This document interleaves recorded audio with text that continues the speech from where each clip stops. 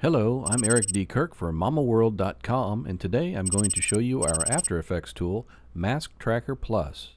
The Mask Tracker of After Effects CC is a powerful motion tracker, but it has one severe limitation.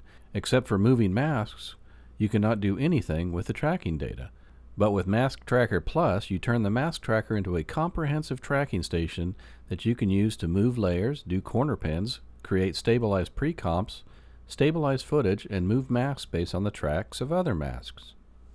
Mask Tracker Plus works with any mask, no matter whether they are from the Mask Tracker, pasted from Mocha, or keyframed manually. You can even combine several masks into one track if you want to increase the accuracy or change the tracking region over time. Using Mask Tracker Plus is super easy.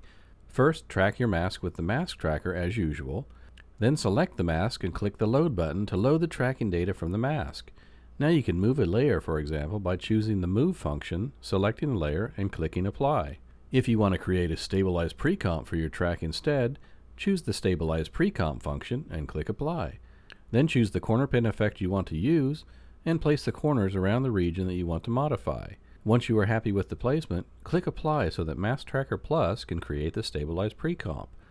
In the Stabilized Precomp, the tracked region is not moving anymore, so that you can manipulate it easily and all changes you make are automatically also applied to the original perspective. The other functions of Mask Tracker Plus are also that easy, as you can see in this in-depth tutorial. In summary, Mask Tracker Plus gives you a powerful planar tracking solution right inside After Effects.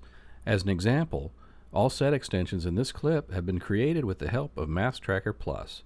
Again, this is Eric D. Kirk for mamoworld.com. We'll see you next time and have fun with Mask Tracker Plus.